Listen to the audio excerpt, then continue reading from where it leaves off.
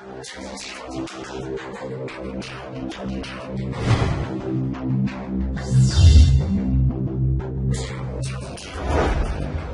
up Broski's PC Gaming out here telling you how to set up a Tekkit server. So first off we're going to download is WinRAR, get it installed and yeah, if you already have Tekkit and stuff like that you should already have WinRAR in general.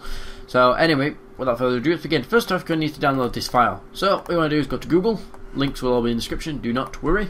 Tekkit, just type that in, press enter. First one called Tekkit Line Technic Pack, click on that Scroll down a little bit and you should see download Tekkit server 3.1.2. There, just download it. I've already downloaded it, as you can see, so I'm not going to continue it. If you don't believe me that I downloaded it today, there you go, 16th of October, and down here it says 16th of October. So we are pretty much in sync here. Okay, so once you got it, it should look a bit like this, you know, wherever you saved it to. I saved it to my desktop. Okay, so what I do is just right click, new, new folder, just call it, uh, be basic, Tekkit server. So it should look a little like that. So once you get your Tekkit server, what you can do is just double click this file, the WinRAR file, should I say. Simply highlight everything. Do not highlight the dot dot or dot dot dot or whatever you've got up top there. You know, you might have something. Don't highlight that or you'll end up copying your entire computer to the folder and I don't think you want to do that. Yes, because that'll be a very big file. And it'll double your hard drive. Well, how much everything's in your hard drive. So you don't want to do that. What you do is just drag and drop it there. Give it a moment. Once it's done, Simply close WinRAR as you don't need this ever again now. You can delete it, do what you want, burn it on your desktop, get the little game that blows it up. Anyway, uh, so what we're going to do is just open up the folder, simply enough.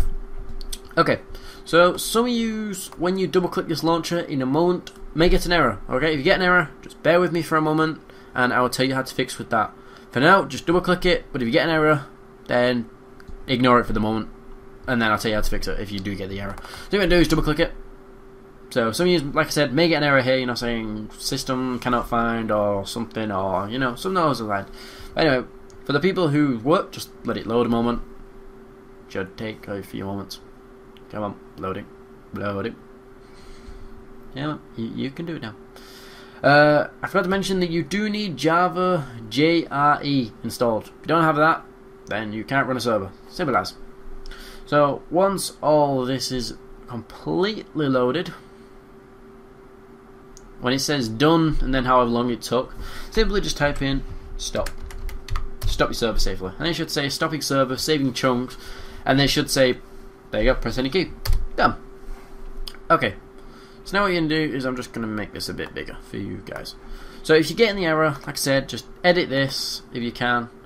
And by looks of it, it should just work anyway. Uh, yeah, it should just leave it. it should just work. um, if if it still doesn't work for you, then I'll put in the description how to fix it. You might want to change how much gig, gigs it uses, depending on how much you have. If you don't know how much you have, start, computer, right click, and then properties.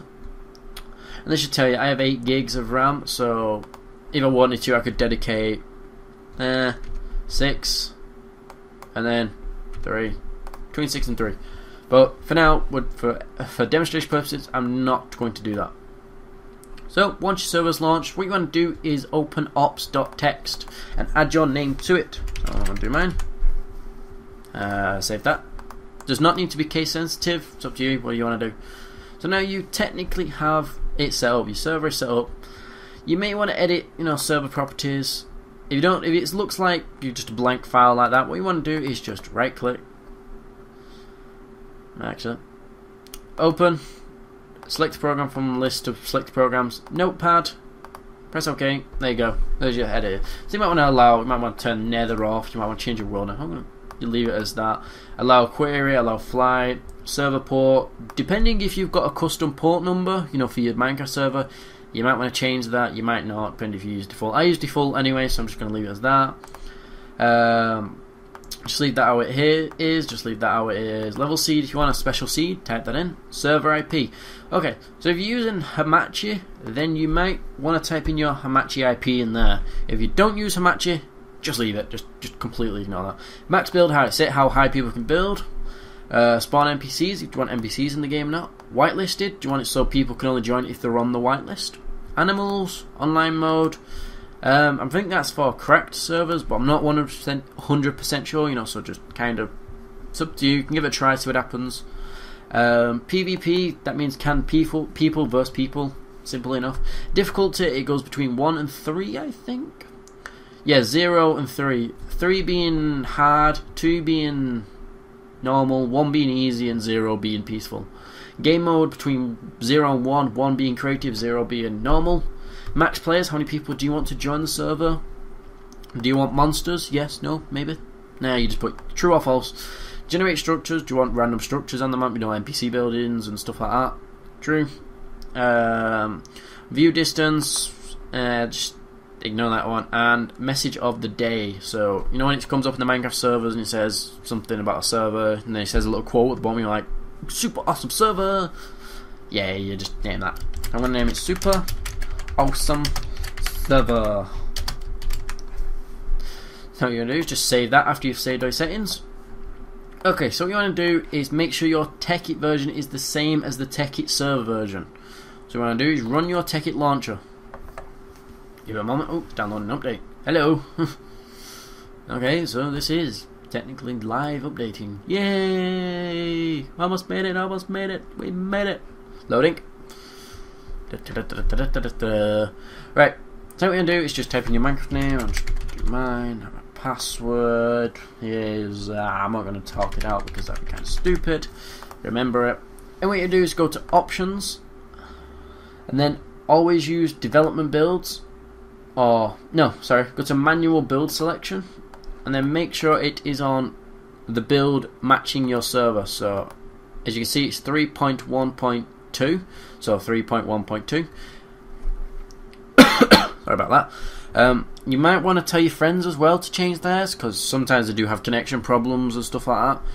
So what I do is just do that. How much RAM do you want to allocate to Tekkit? So I'm just going to leave it as default 2 gig.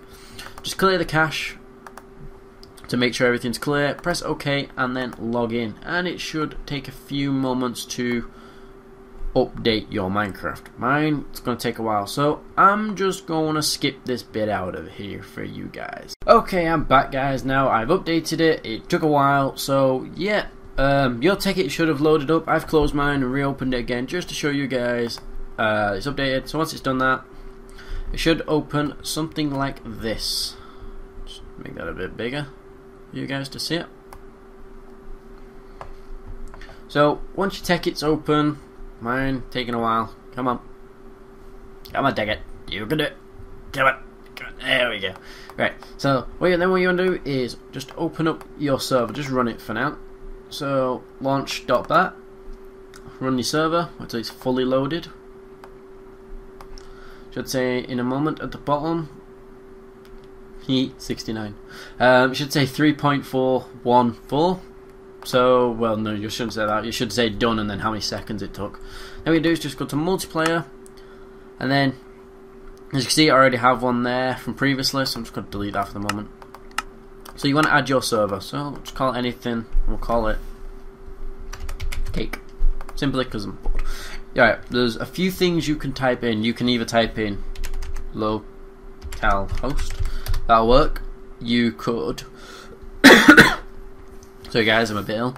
Uh, you can either type in colon 25565 or whatever your port number is for your server. They'll either work.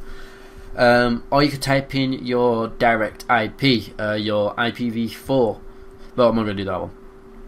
For other people to join, you must have a port forwarded or match it. They must either connect to your Hamachi and then you send them your Hamachi IP and they type it in and they join or you port forward and then you you give you give them your your outwards IP if that makes any sense. So you if you put forward in, you give them this IP. If you port forward in, you give them that IP of yours. And you can see, you're just type what's my IP, and Google pretty much tells it you. It's your public IP. So that way, other people can connect to your server. So once you've done all that, what you want to do is just join your server. And it should say over here joining checking sending server side check to and there we go guys. We successfully have Tekkit installed. Um,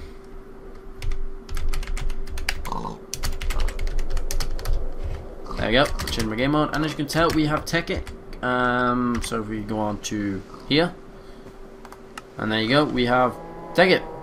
And for everyone who wants to see a nuclear explosion, you can, because I'm feeling nice. I'm feeling nice today, guys. Let's get some uranium here. Let's get some uranium up in this joint.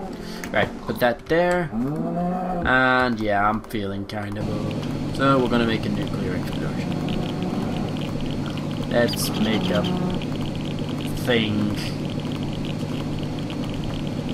We need more uranium. We need more uranium! The uranium in. But yeah guys, that is your server set up. I'm just gonna detonate this now. Run!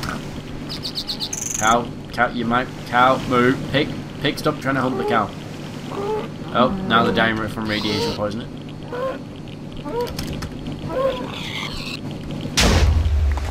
Oh, and there you go. There's a nuclear explosion for you guys who've never seen one. so, ooh, uranium.